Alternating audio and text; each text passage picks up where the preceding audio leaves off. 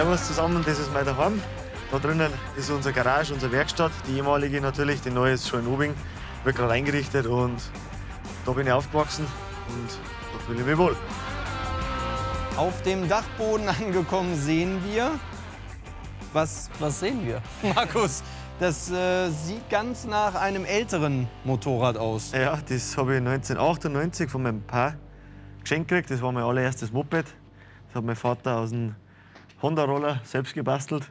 Und das hat schon einiges mitgemacht, wie man sieht. Kurz nachdem habe ich noch 60er Motocrosser gehabt, bis dann die 85er gekommen ins Haus. Und dann bin ich aber eh schon Minibike-Rennen gefahren. Dann haben wir noch zwei Kreidler, das ist vom am Vater sein Kreidler. Das ist mein Kreidler, mit der ich seit ich 16 bin gefahren. Und das war dann mein erstes Motorrad. Mit der bin ich dann mit 18 das erste Mal offiziell auf der Straße gefahren. Und da haben wir noch eine alte Spielwehrrarität von meinem Vater noch aus den 80er Jahren. Und ein 1952er Hoffmann. Ja, also vom Highboden aus sieht man einigermaßen die Rennstrecke noch. Da ist die Startzielgerade, hinten ist Kurven 1. Da, wo der ganze Schnee liegt, ist die Gegengerade.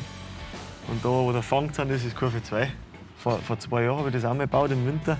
Haben wir dann mit Wasser aufgespritzt und ein Eisspielbein gehabt. Der erste Kontakt mit der Straße, oder nicht? Genau, das war 2003, im Alter von acht Jahren, im ADAC Minibike Cup.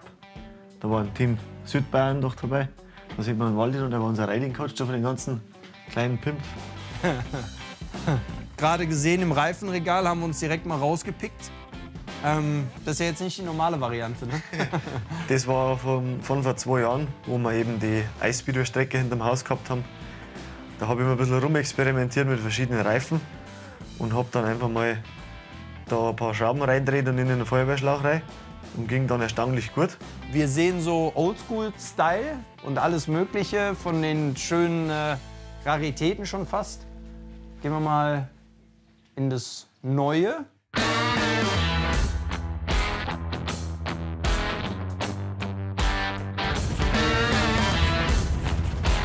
Ist so dein Werdegang eigentlich gewesen, dass man so wird und vor allen Dingen so ein Herz für Motorräder hat? Ich wollte immer Sandbahnfahrer werden, weil das war für mich einfach das, ja, man, was der Vater macht, das ist halt einfach das, das Ziel als jeden, ein, oder von mir gewesen. Ich bin dann über ähm, die Motocross-Schiene oder über ein Schneemotocross, das mein erstes Rennen war, dann richtig infiziert war mit dem Rennen. Und die technische Begeisterung war immer schon da, seit ich mich erinnern kann. Man, wenn du selber Moped fährst, dann musst du irgendwann, wenn der paar Mal nicht daheim ist, auch mal selber Es war ja leider so, dass im vergangenen Jahr Waldi äh, von uns gegangen ist, aber die Startnummer, das ist äh, eine ganz schöne Sache. Ich meine, die 28 hast du nicht umsonst auf deinem Motorrad, die trägst du weiter. Ja. Und äh, wenn man sich so ein bisschen umblickt hier in der Werkstatt, dann sieht man auch sehr, sehr viel, was äh, von Waldi weiterhin existiert und du vor allen Dingen aufleben lässt. Ja, wir haben in Obing einen, Kreidlerclub, Kreidlerfahrer Obing. Ähm, das sind nicht nur Kreidlerfahrer, das ist offen für alle Mopeds. Und da ist damals der Walli zu uns gezogen, nach, nach Obing, und war natürlich sofort in, infiziert, komplett, hat sich einen Kreidler gekauft und hat, hat dann eigentlich richtig angefangen mit dem Tuning. Und bin dann zum, zum Jan Schreiter, der für einen, für Waldi die Auspuff gebaut hat für die Mopeds, und habe bei denen einen Schweißkurs gemacht und die haben mir das beigebracht. Das will ich ein bisschen weiterführen für den Waldi. Der Werdegang ist eigentlich von dir klar, oder? Wenn du irgendwann nicht mehr Rennen fährst. Fakt ist, dass ich danach definitiv irgendwas mit in dem Bereich weitermachen werde und am liebsten mit einer Werkstatt, weil irgendein Bürojob, das ist sicherlich nichts für mich. Vielleicht auch irgendwas im Rennsport mal machen, dann man mäßig oder Fahrwerk, das würde mich auch ganz interessieren.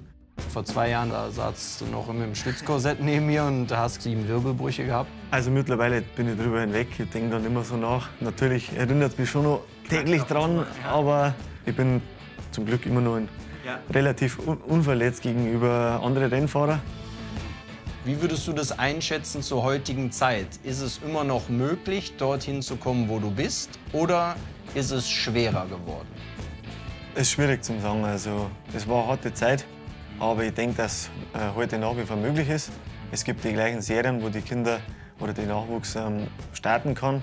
Es gibt äh, einige kostengünstige Varianten, des Rennsport zu betreiben. Tendenziell ist es halt einfach schwierig, damit sich das jemand finanziell leisten kann. Da kannst du so viel Talent haben, was du willst. Wenn du das Material oder die Leute nicht hast, die dir das vorbereiten, dann geht das gar nicht. Und ich war, ich war halt relativ glücklich durch äh, meine Familie, durch die Umgebung, die ich gehabt habe. Am Ende vom Tag kocht ja jeder mit, nur mit Wasser und warum soll, das, soll man das selber nicht erreichen, wenn das andere auch können?